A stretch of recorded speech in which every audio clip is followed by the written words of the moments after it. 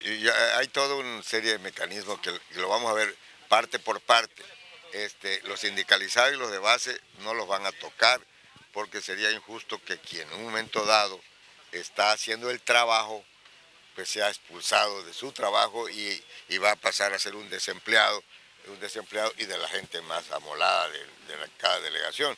Es injusto. Ahora, si encontramos que dentro del personal sindicalizado o de base existe alguna connivencia con la gente de arriba y que cometen errores, pues tendríamos que decidirlo por la ley federal electoral, la ley federal de trabajo. Pero hemos, hemos checado delegaciones en donde si los, los visitas normalmente sin que sepan quién eres o, mandas a una gente que vea, todos están sentados sin hacer nada.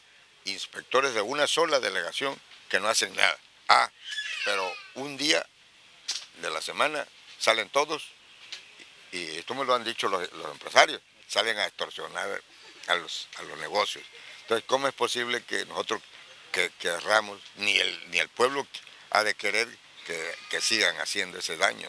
Claro, ahí, ahí, ahí, en, ahí de 67 dije hace rato, aunque podíamos hablar de 73, las que están registradas.